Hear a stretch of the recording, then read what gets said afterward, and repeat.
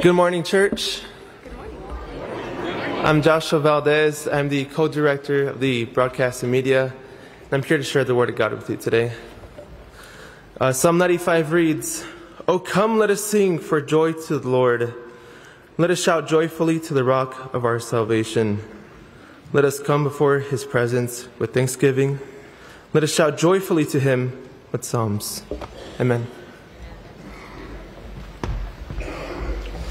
Is everyone ready to shout? All right, that's what Scripture says, and that we will do. Hymn 231 is Come, Christians, join to sing. If you're able, let's stand together and let's worship.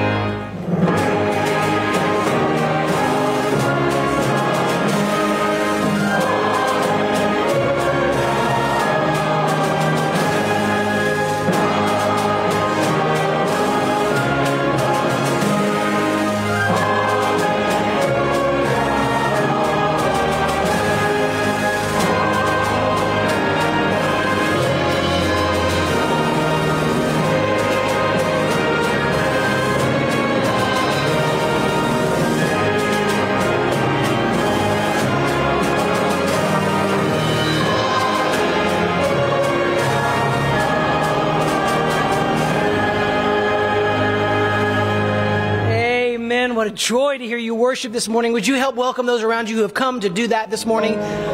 If you are worshiping by way of television or live stream, we just want to thank God for you. We count you as a part of our family. What happens here is happening in your home, your hospital bed, wherever you may be. So take seriously this hour and this opportunity to worship the Lord this morning. Thank you for making this a priority. God bless you and welcome to worship.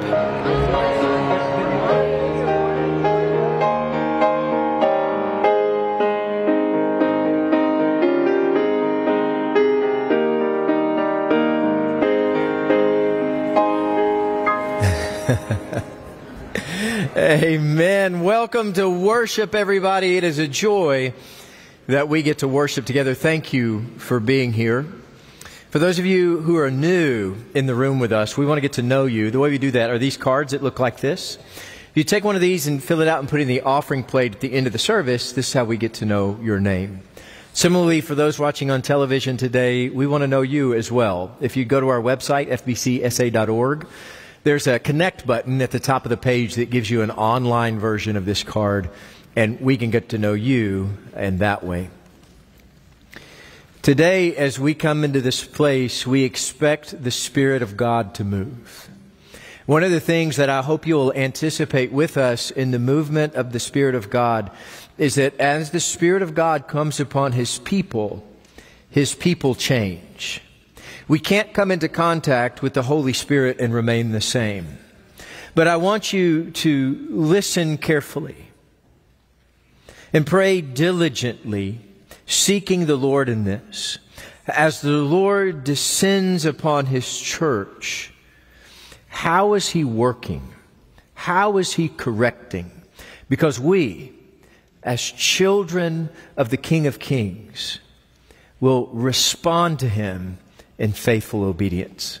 Or that's our prayer. Is that every one of here, every one of us in here will respond to the movement of the Spirit in the correction of our lives for the glory of the Lord. And so may we be faithful as the Spirit of God moves in this place. Let's pray together. Lord, we love you. And we know that you love us. And Lord, we pray that in that love we would respond faithfully to you. In all the ways that you correct us, in all the ways that you instruct us, in every way that you discipline us, Lord, we pray that we would receive it as good children, as children who love you and trust you. And Lord, we pray today that we would receive your word and be transformed by the renewing of our minds, that we would be more like the Christ today than we were before. And Lord, we ask that you would come upon us and bring new life. And Lord, that our worship, our time together, our lives would be defined in this newness found in the Spirit and not of ourselves. It's in the name of our Lord and risen Savior, Jesus Christ, we pray. Amen.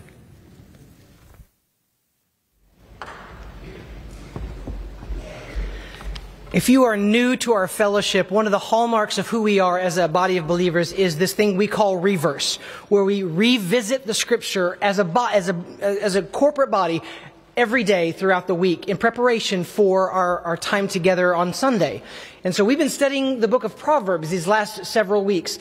Now I've got to confess to you, spirit of full disclosure, I rarely go around chanting the reverse text in my house as much as I have gone around my home chanting, spare the rod, spoil the child. It, it might, it might have come out of my mouth several times this week, uh, but as we approach this, this, um, series of discipline that to be a disciple is to be one that is, is grounded in what we're called to be. And that means sometimes we are called back, sometimes we are corrected and challenged. So there's much scripture that parallels this, this teaching in Proverbs. One of them is found in Hebrews chapter 12, starting in verse 4. You follow along and, and you, you hear the word of the Lord. You have not yet resisted to the point of shedding blood in your striving against sins. And you have forgotten the exhortation which is addressed to you as sons. My son, do not regard lightly the discipline of the Lord, nor faint when you are reproved by him. For those whom the Lord loves, he disciplines, and he scourges every son whom he receives.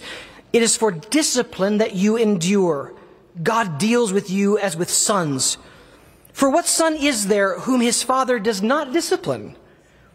But if you are without discipline, of which all have been become partakers, then you are illegitimate children and not sons. Furthermore, we had earthly fathers to discipline us, and we respected them. Shall we not much rather be subject to the Father of spirits and live? For they disciplined us for a short time as seemed best to them, but He disciplines us for our good, so that we may share His holiness. All discipline for the moment seems not to be joyful, but sorrowful. Yet to those who have been trained by it, afterwards it yields the peaceful fruit of righteousness. Thanks be to God. Let's continue our worship, everyone. We are in the Easter season. As long as we gather on a Sunday, we are in the Easter season. Let's continue to sing of that resurrection. Hymn 166, He is risen, He is risen. Standing if you're able.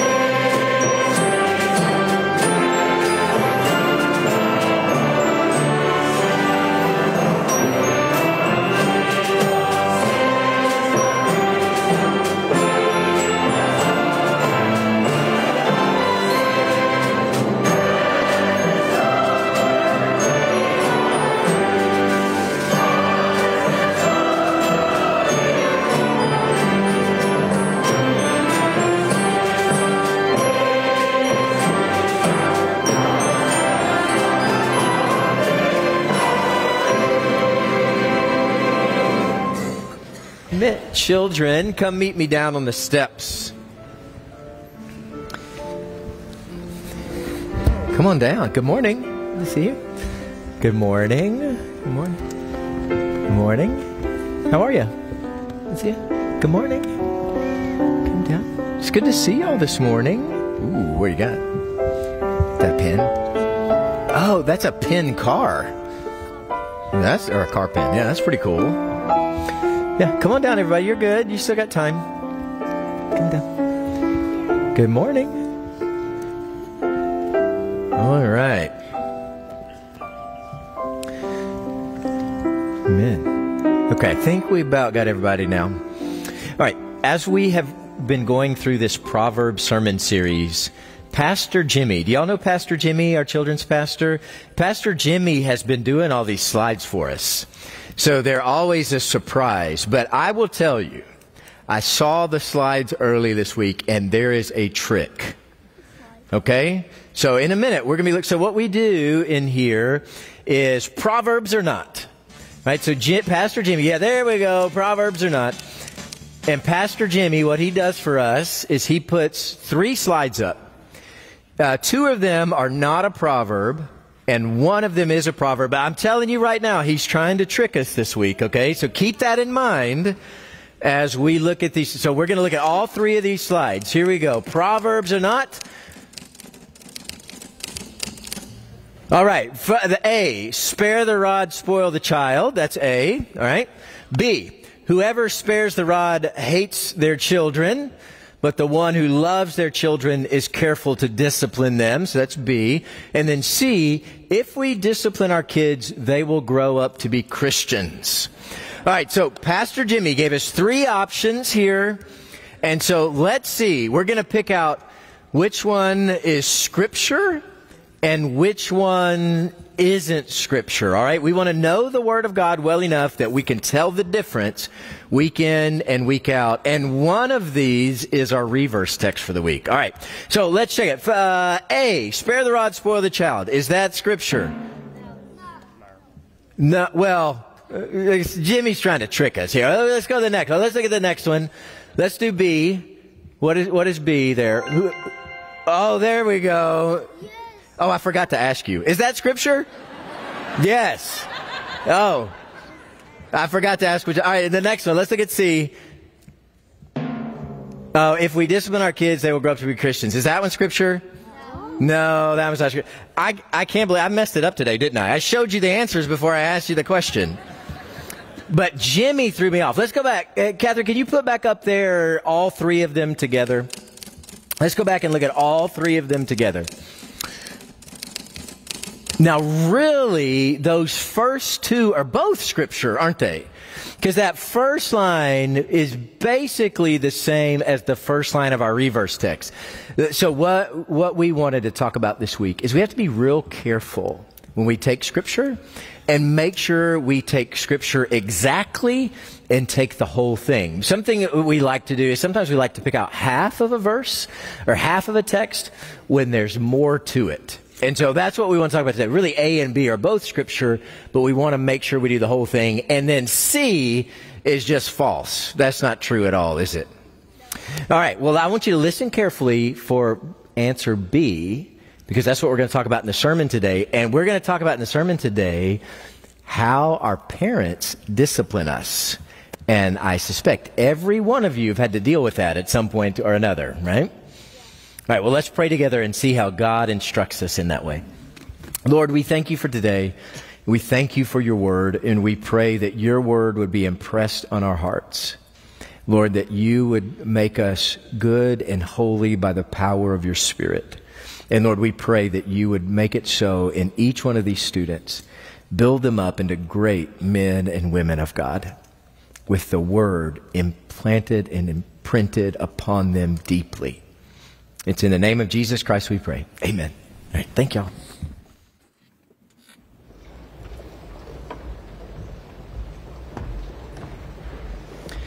So, Pastor just revealed to my children that I've been misquoting the scripture all week long. I, I repent again, so in front of everyone. Let's continue to worship everybody. It's God, our Father, you have led us, hymn 454. Let's stand together if you're able and let's sing.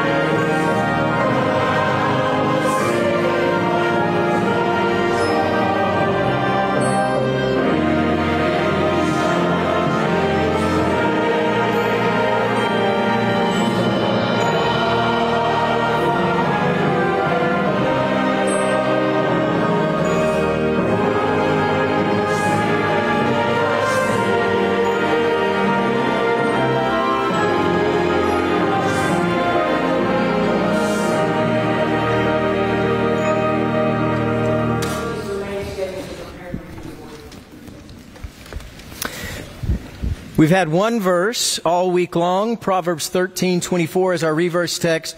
If you would, find that, and we're going to read this aloud together. This then is the text for today. He who withholds the rod hates his son, but he who loves him disciplines him diligently. May God bless the reading of his word.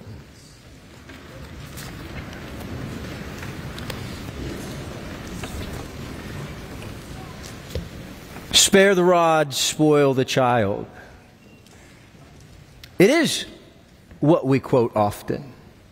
And for grace towards Pastor Aaron as he walks, that is a, a fair assessment of Proverbs 13 24. Spare the rod, spoil the child. And we say it often. And there's a couple of places in particular where we often hear, spare the rod, spoil the child, that I want us to be careful with and careful about. So, one of the places that you often hear, spare the rod, spoil the child, is when someone else's child is greatly annoying you. And when someone else's child is running through the hallway and knocking your stuff over, it quickly comes to mind spare the rod, spoil the child. And sometimes we even say it out loud. It's meant to be a judgment. It's like when we've gathered together with family and our sister's kids are behaving wildly and we look at her and we say, spare the rod, spoil the child. It's, it's, it's a condemnation that we use against others' parenting. And with that, I would be careful. There's another time we, we often use it. Often you'll, you'll find it in your own anger. that as you become enraged, right, it becomes a, a part of your discipline of your children. Spare the rod, spoil the child. And one of the things that we often do, it's very easy for that to become something far more than it was intended to be. That out of that we let our emotions take over and lead us down a path that Scripture never intended. There have been plenty who have used this verse to justify their abuse and to justify their punishment when God never intended for that pain. But as we come to this Proverbs 13 24, we need to, to recognize fully what the scripture is teaching us here. That it is good and it is holy to discipline your children. And the opposite of that is it is disobedient to the Lord if you refuse to discipline your children. That your children, my children, all of our children, they need strict discipline. And, and they need to be disciplined diligently. So if you get to the end of that verse, it, it talks about this diligence and discipline that is a, a wise path in and of itself. It's interesting that that phrase has another connotation to it that I think helps us. There is some sense of this, this phrase of discipline diligently being connected to the dawn, the rising of the sun. And I think a, a connection that we can make here is that diligent discipline is discipline that is thoughtful, it's discipline that is intentional, and it's discipline that is consistent. That this is what our children need thoughtful, consistent discipline. And whatever that looks like, whether that's verbal or, or, physical or environmental or whatever the discipline is for each of our children, they are in desperate need of discipline. Every single one of them. It takes your thought, it takes your time, it takes your energy, and it takes that from an unclouded mind. Where we start to get off course with this is when we try to develop what discipline looks like in, in the heat of the moment. In, in the, the, the, the, emotional difficulty of parenting. If our dis- discipline arises out of the emotion of the moment, it will fall apart. And so when it talks about this, this diligent discipline here, it's not discipline that arrives in the moment but it's thoughtfully and wisely prepared for the day that it is needed. That as parents, we need to assume that our children will need our discipline. They are not perfect little angels like they sometimes look when they're laying in their beds with their eyes closed. That once they get up, there is going to be a need for discipline. Before the dawn, we should know the plan and stick to it. Discipline diligently. And, you know, one of the things that we recognize here in our flesh is that if we don't discipline our children, parenting becomes so much easier. If, if you just ignore them, and if you just completely ignore their behavior, your life just becomes all the more easier if you let go of that responsibility. And at that point, if you let go of their discipline, you have far more time to indulge yourself in that which you, your flesh wants to do. And there's so many of us as parents who feel like we don't have the time, effort, energy to discipline our children, so we just let it go. We would rather indulge ourselves then take care of the responsibility of disciplining our children. What's interesting, we're about to move, and you can turn with me to Hebrews chapter 12. And as we work into Hebrews chapter 12, Pastor Aaron read it earlier, that when, when you do this, when you refuse to discipline your children, to God above and to the earth all around, what you are saying is, I disown my children. They are no longer mine. They are no longer my responsibility. Turn with me to Hebrews chapter 12. And look, look with me here at verse 8. So Hebrews 12, 8. But if, if you're without discipline, of which all have become partakers, then you are illegitimate children and not sons. The refusal of discipline means you are giving up your parenthood. When you, when you ignore your child's behavior, you are saying, and you see in Proverbs 1, I hate them, is how Proverbs describes it. Hebrews 12 describes it as, you have given up on your children, and they no longer belong to you. We wouldn't say that out loud, but that is the reality of the situation when we do not discipline our children. And I want you to recognize in this diligent discipline, there is a daily pattern to this that with your children and for your children, you will be intimately and daily involved in their behavior. That you are near to them and you're working with them and you, you are in their life. You will not let them get away with it, whatever it is and that you are going to be there and you're going to be near them and you're going to talk with them and you're going to work through life's most difficult and painful moments with them. To not do that is irresponsible. To, to stay out of their life and be hands off is unbiblical. Hands off parenting is sinful. And, and as you let them run, You are moving further and further away from God as you move further and further away from them. You are to be actively involved in their life. Now, we do want to make a note here that on some level, this changes into adulthood. And that interaction and those relationships will be altered a bit once we move out of the house or get married. Those kinds of things, it changes the relationship, but there's still something there between parent and child. So I want you to recognize, as we, we look at Proverbs 13 24, that's the lesser truth this morning. That the, the lesser truth is, is our interactions with one another and the wisdom in the temporal reality of us disciplining our children as they grow from 10 to 12 to 14 to 18 that's the lesser reality this morning. There's a greater reality that this relationship between parent and child points heavenward and points to the reality of who God is in our life. If you look with me at Hebrews 12, Hebrews 12 pr- quotes Proverbs 3. Uh, uh, in verse 6, for those whom the Lord loves, he disciplines, he scourges every son whom he receives. And look down with me verse 11.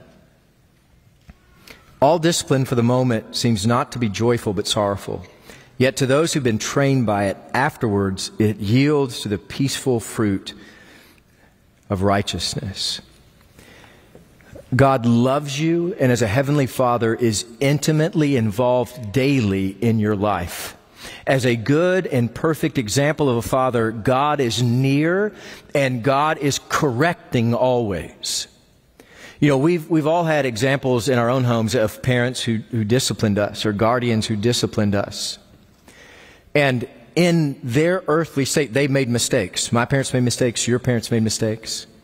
But what we recognize, what that's pointing to, is a heavenly Father who is perfect and he makes no mistakes when it comes to your discipline and your correction. And he is there day in and day out, putting in the work and the effort so that you can know the wise way forward. This is one of the great joys of being a child of God is that God is with you and walking right next to you through everything that you're going through in this life. And there will be days ways that He will correct you and rebuke you and scourge you.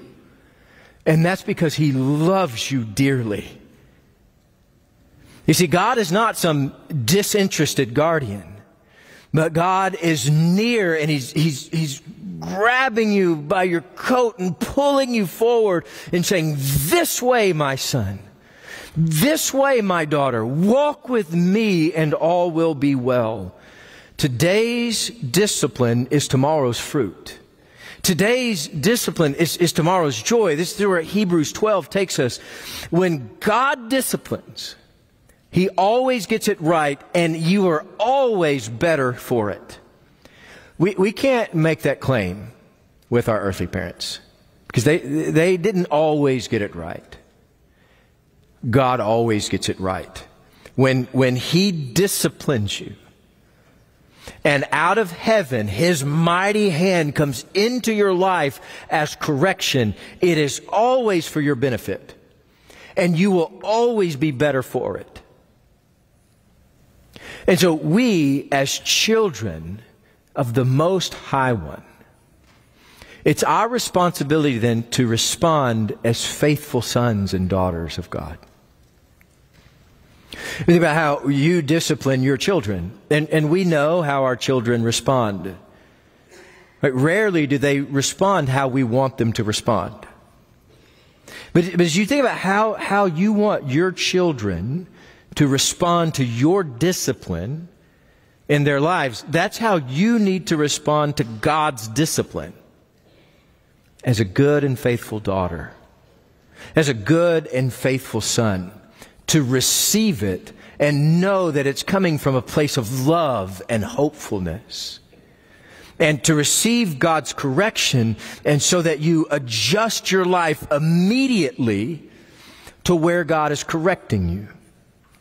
So many of us still act like a toddler throwing a tantrum in the supermarket when God's correction comes into our life. There's still so many of us when, when the corrective hand of God moves us in a different direction, we run away from Him as, as fast as possible.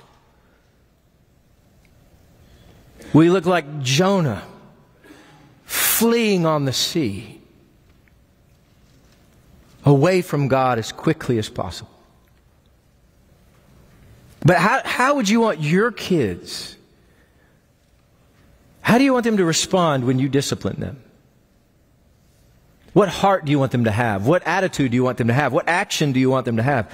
Because you and I, we keep fighting God like an unruly teenager. As God adjusts, we need to respond as faithful sons and daughters. So we see the, the lesser truth is that parents must discipline their children. The, the greater truth is that God always disciplines his children. It is a constant in our lives. And, and now, more specifically, to recognize that, that God is disciplining us. You and I as individuals, and God is disciplining us as the First Baptist Church of San Antonio. And, and we receive this because we know this is evidence of His love. That, that's what you hear in Proverbs. That's what you hear in Hebrews. That's what you hear in Revelation. And if you'll turn with me, we're going to look lastly at Revelation chapter 3. That this is evidence that God loves you and the Holy Spirit is moving. When the Holy Spirit moves, you will know the discipline of God and you will be required to change. That your life will look different than it did before. The old ways don't work anymore. The, the Spirit brings this new life of holiness that's different. So if you'll turn with me to, to Revelation chapter 3. God disciplines us. And as you look at Revelation 3, look at verse 14. It says, To the angel of the church in Laodicea, and then look at 22, where it ends. He who has an ear, let him hear what the Spirit says to the churches.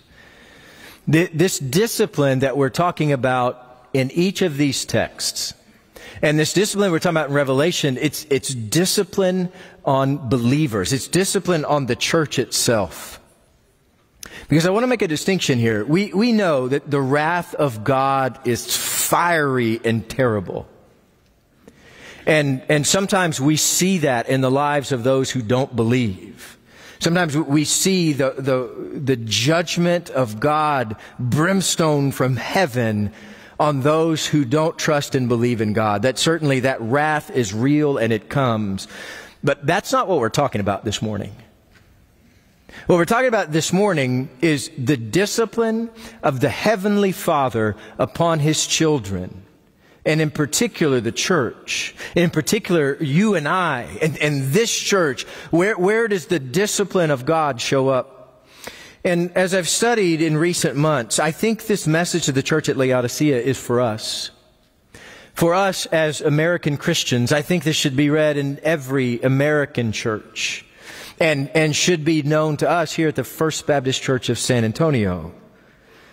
To the message of the church at Laodicea, it starts Jesus' word in, let's look at 15 and 16. I know your deeds. You are neither cold nor hot. I wish that you were cold or hot. So because you are lukewarm and neither hot nor cold, I will spit you out of my mouth.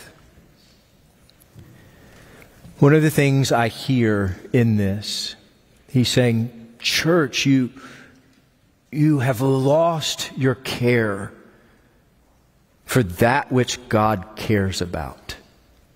He says, You're not cold or hot. You, you, you don't have that, that heart for God's ways.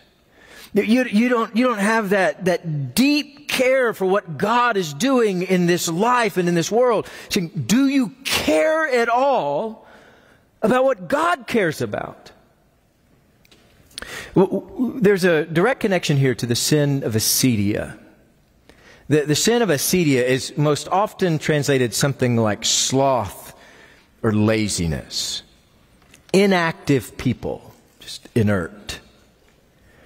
But I want us to be careful and separate it out from laziness a little bit because that's not exactly what the sin of acedia is.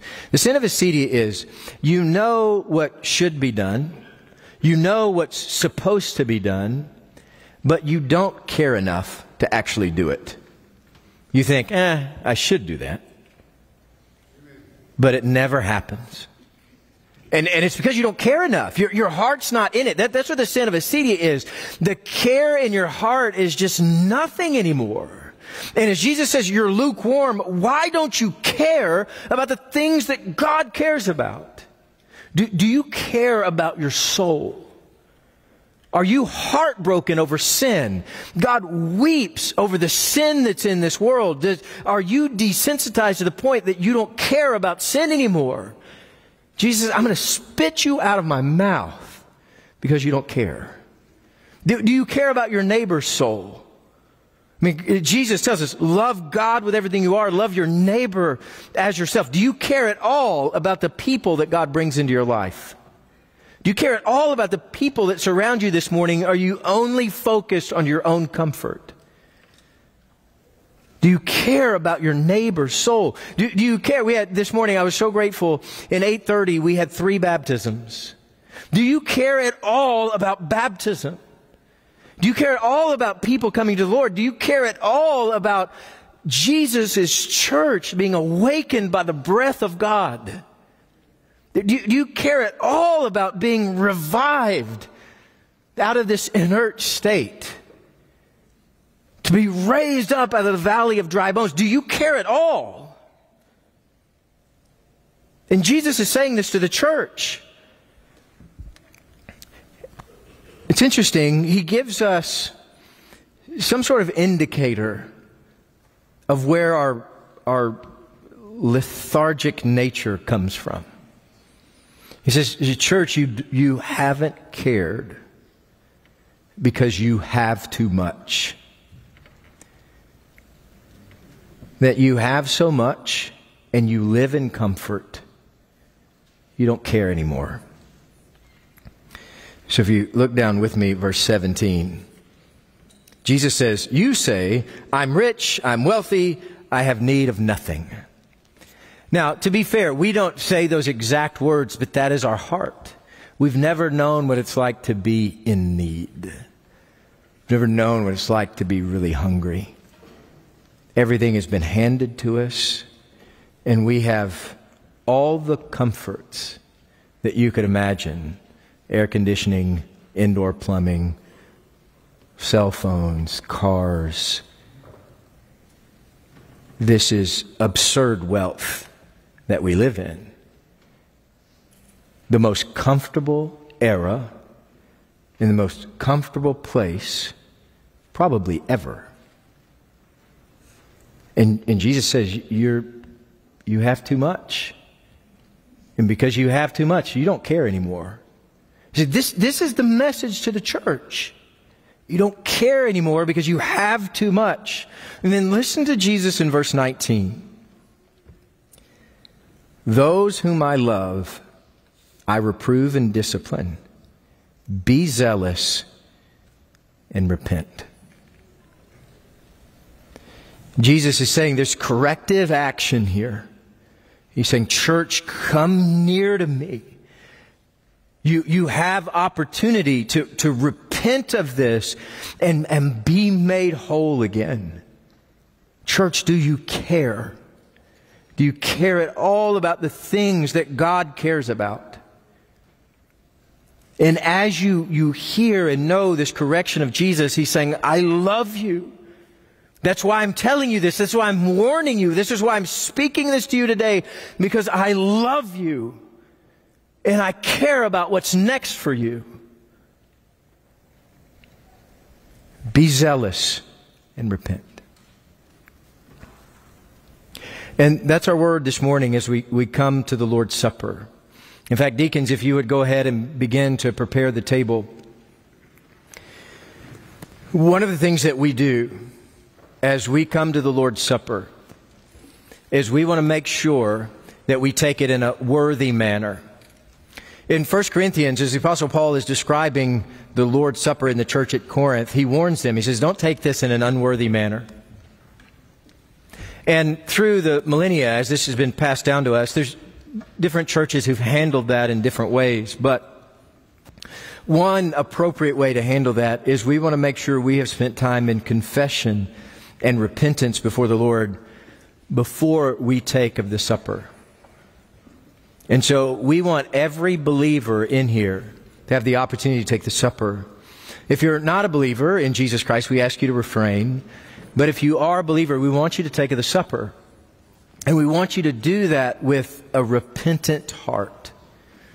And so, whatever or however God's working on your heart this morning, where that correction has been in the last couple of weeks, I hope you'll receive that correction and ask the Lord for forgiveness. Say, for, Forgive me and transform me. So we're going to have uh, just a few moments of silence, and then I'll, I'll close us with our prayer of repentance. So let us pray.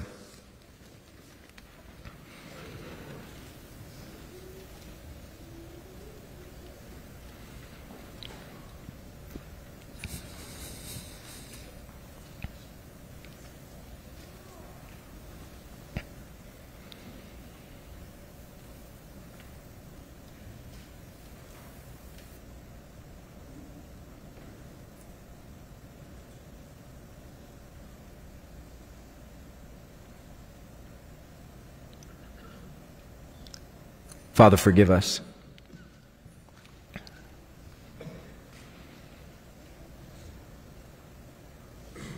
There were many times, even this week, where we spurned your discipline. We talked back to you. We ran away from you. We threw a fit. We closed our eyes. We plugged our ears. And Father, for every way that we have defied you. We, we pray that you'd forgive us this morning. Forgive our hearts for turning away. Forgive our hearts for taking the easy way out. Lord, and we pray that your Spirit would transform us.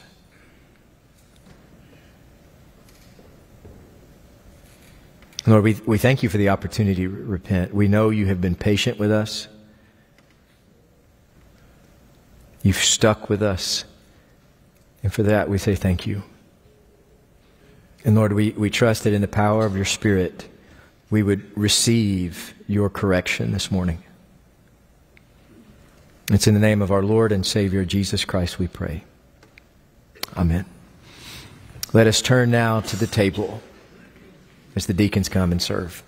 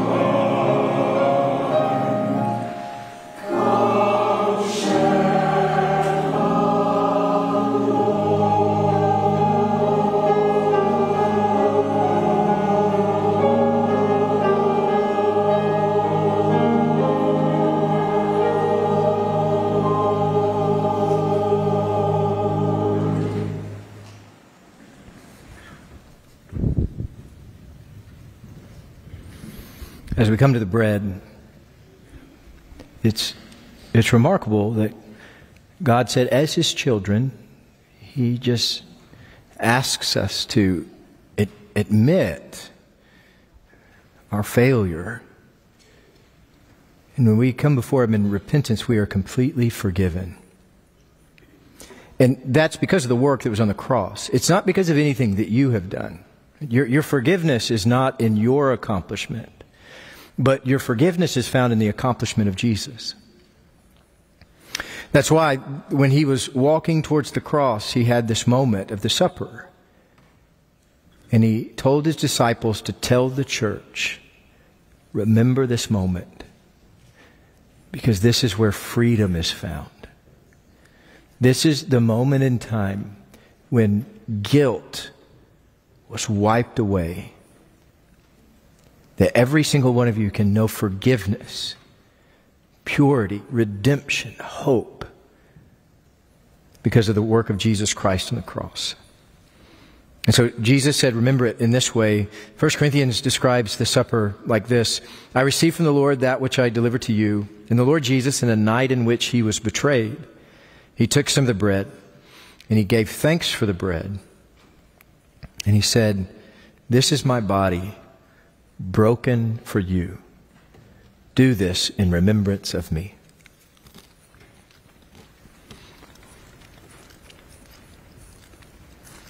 Deacons, come and serve the cup.